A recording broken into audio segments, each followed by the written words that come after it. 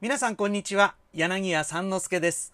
以前書き溜めた原稿をもとにして今の心を織り込んでお届けするポッドキャスト。題しまして三之助の落語のことでも話してみようか。をお送りします。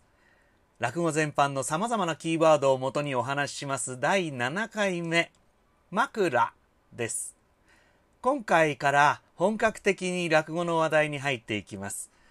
今日は話し家が講座に出て頭を下げて落語に入るまでのことをお話しいたします。すでに一般名詞化しつつある枕についての考察です。最後までごゆっくりお楽しみください。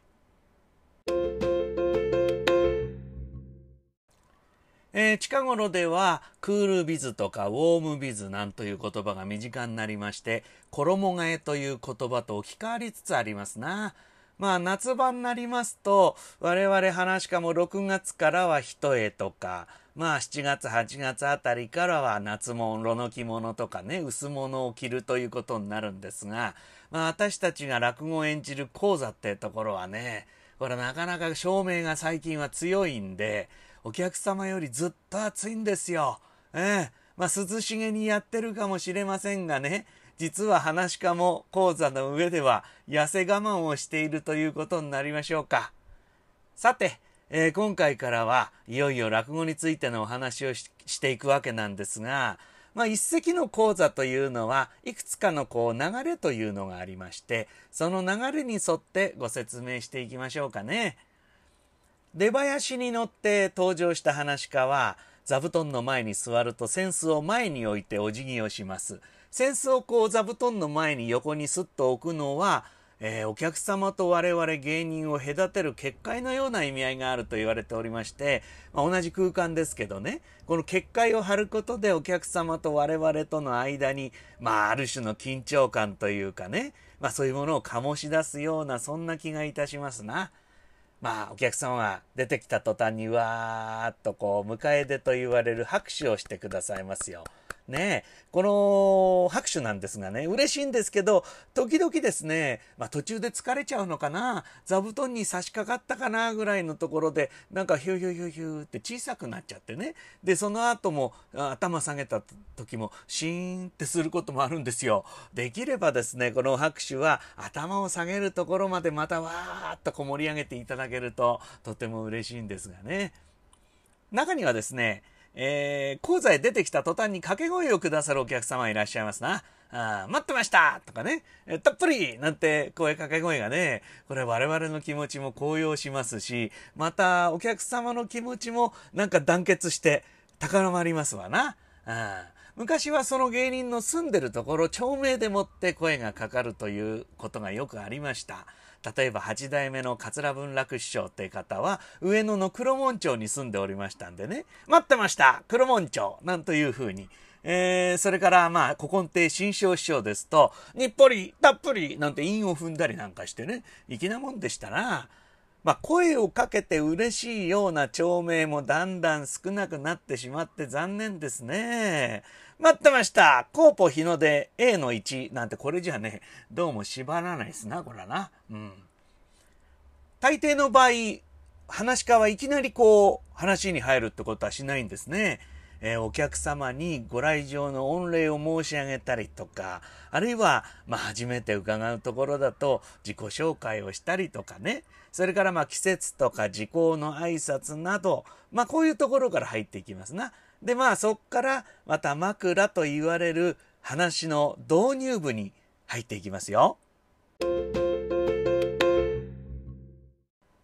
この枕という言葉耳なじみがある方もない方もいらっしゃると思いますがねこれは頭につくというシャレから生まれた言葉のようですよ。まあ、枕はねどうしたって頭にくっつけて使うもんでしょ？ね。えー、話の頭につくから枕というわけですね。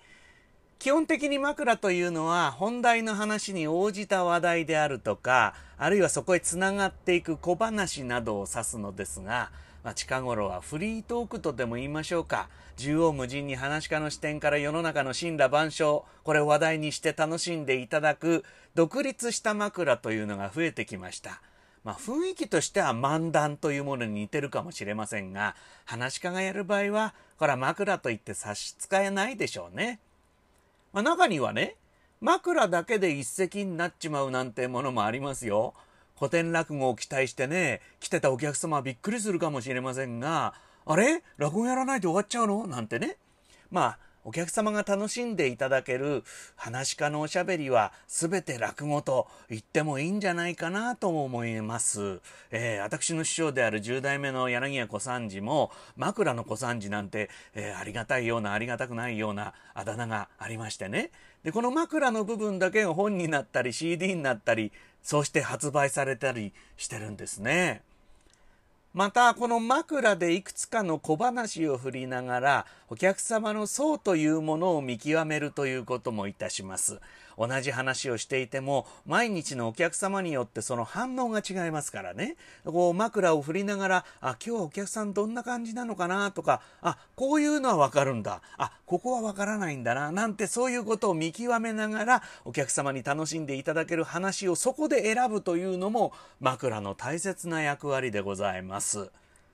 いわゆる古典落語の世界というのは現代ではもうなくなってしまった習慣とか言葉なんていうのが存在しますよね。特に下げなんていうのがね、今分かりづらくなっちゃったので、まあお客様が話の世界に入ってきやすいように、あ、下げを納得していただけるように、それとなくその説明を紛れさせておくというのも、この枕の部分でございます。えー、例えば、そうですね、昔の紙床なんという説明、これしておくとこんな感じですかね。小師匠人ところにだるまの絵ですとか怒りの絵が描いてある。